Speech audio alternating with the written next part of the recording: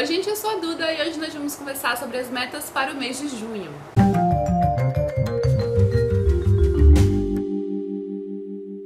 Eu vou tentar não ser tão ambiciosa no mês de junho, porque eu não sei qual o tempo disponível que eu terei para ler, mas eu até coloquei uma quantidade considerável de livros. Não que eu vá conseguir ler todos eles, né? Mas vamos ver.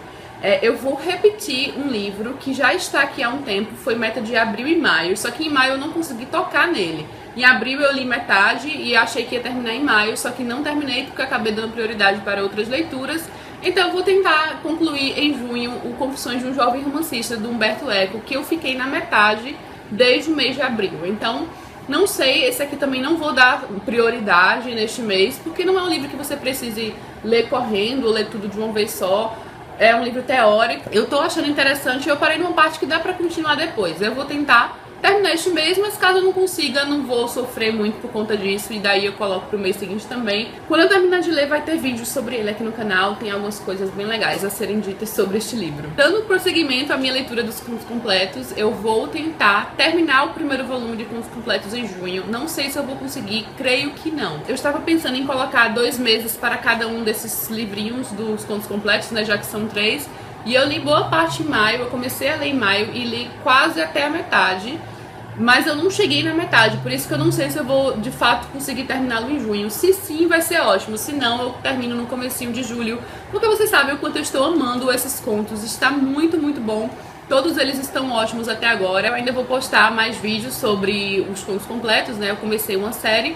Mas é aquele negócio, não é algo que vai ter um cronograma específico ou uma quantidade de vídeos específicos. Eu vou gravando sempre que dá. Eu consegui gravar é, os dois primeiros vídeos sobre os contos completos, né, sobre o conto 1, 2, 3 e 4, é, até próximos um do outro. Gravei um em uma semana e o outro na semana seguinte, mas depois não consegui mais, até porque eu só vim terminar o sexto recentemente. Então no comecinho de junho eu terminei o sexto conto. Talvez em junho eu consiga colocar um ou dois vídeos sobre os contos completos no ar se tudo der certo. Caso não, eu não vou me cobrar muito, porque eu fico muito nervosa quando eu me cobro as coisas, sabe, pro canal e não consigo fazer. Então Talvez tenhamos um ou dois vídeos sobre os contos completos. Vou fazer o máximo para que dê. Pelo menos um eu sei que vai dar. Vai ter um vídeo em junho sobre os contos completos. E o outro eu não sei se eu vou gravar quando eu terminar o restante ou, enfim, vamos ver o que as semanas de leitura me trarão. Esses dois que eu mostrei pra vocês agora, eu não sei se eu vou conseguir concluí-los em junho, mas são livros, especialmente contos completos, que eu vou dar atenção no mês de junho. Agora eu vou mostrar alguns pra vocês que eu pretendo de fato concluí em junho, e o primeiro deles é um que eu já estou concluindo, que eu comecei a ler é, no finalzinho do mês passado, mas boa parte eu já li este mês, que é o Guerra do Velho. Eu estou bem no final mesmo, eu estou na página 273, está faltando só isso aqui para terminar. E é a primeira meta de junho que eu conseguirei concluir, assim, com certeza absoluta. Outra meta de junho que, claro, não poderia faltar e que será devidamente concluída e terá vídeo, já tem data para este vídeo sair. O Adversário Secreto de Agatha Christie, que é o segundo volume na cronologia dos livros publicados da Agatha Christie, que faz parte do nosso projeto Lendo Agatha Christie então eu estou bem empolgada para ler este livro novamente. Mais uma vez será uma releitura, só que eu não lembro dessa história, eu lembro pouquíssimo mesmo. Vai ser ótimo descobrir o livro mais uma vez, e este é o primeiro caso da Tommy e do Tuppence. Eu gosto dos livros deles dois, mas não são dos meus preferidos. Eu prefiro Poirot ou então a Miss Marple. Tommy Tuppence eu sempre achei legal, mas nunca foi aqueles livros assim que eu realmente amei da Agatha Christie.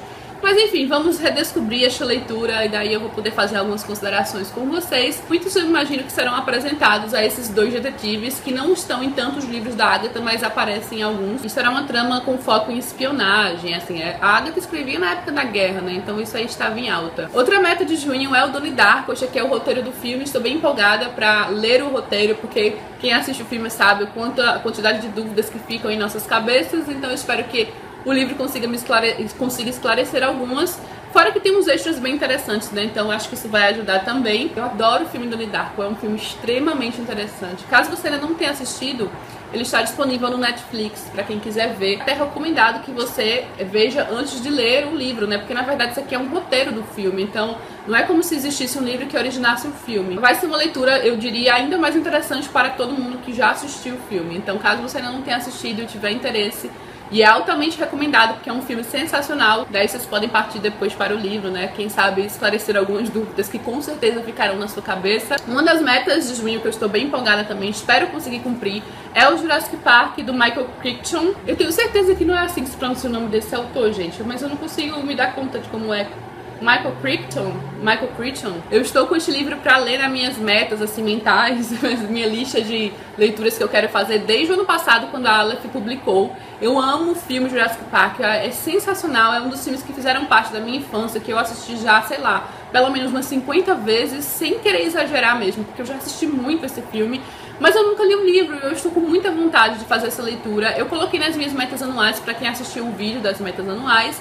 E eu vi que agora que a Aleph vai publicar O Mundo Perdido, né? Que é a continuação. Vai sair, acho que ou no mês no final de junho ou em julho, não sei. Vai, vai sair nessas próximas semanas. Então eu quero fazer essa leitura do primeiro livro para depois pegar O Mundo Perdido para ler. Então acho que essa aqui é uma que eu vou tentar dar certa prioridade aí ao longo do mês. É um livro consideravelmente grossinho, né? Acho que ele tem umas é, tem mais de 500 páginas, mas é uma leitura que eu sei será muito prazerosa. Originou um dos grandes clássicos cinematográficos que nós temos. E outro que eu quero ler em junho não sei se eu vou conseguir, mas eu quero muito fazer essa leitura em junho. É o Guerra dos Mundos, do H.G. Wells, só que eu não estou com o livro ainda. Eu sei que ele vai chegar, a editora vai me enviar um exemplar. Ele será lançamento, ele é lançamento do mês de junho. Eu estou com muita vontade de ler este livro. Vou colocar aqui a capa, a capa está linda, é uma edição especial. Acho, não sei se é de 100, acho que é de 150 anos. É uma edição comemorativa de aniversário, com capa dura, alguns extras legais. Eu gostei muito da arte da capa também. Estou bem empolgada. Eu gosto muito dessas tramas apocalípticas, né, fim de mundo.